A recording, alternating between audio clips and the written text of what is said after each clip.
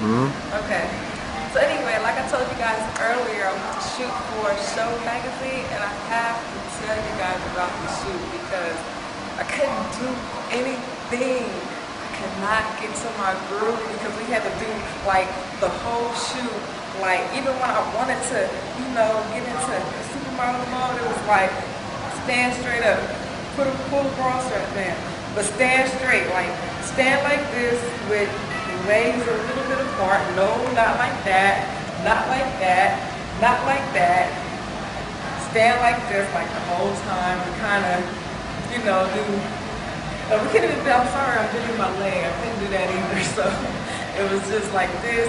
And I would show you guys the side profiles, but they're not very flattering. But they made me do like side profile shots without doing any arching, no twisting, no bending, no flexing, no nothing.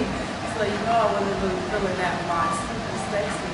But you know I saw some of the pictures and they were kind of tight. So you know I think the spread would be good. I think it would be really cute. I don't know when it's gonna come out, but it will be out soon. And I will let you guys know when it is ready to go get. And when it comes out, all y'all gotta write in and tell them how much I love me. I want to see me on the cover. I was just playing, but I know y'all like it when it comes out. But I'm about to get ready to go shoot now, so I can make some videos and get some more pictures for you.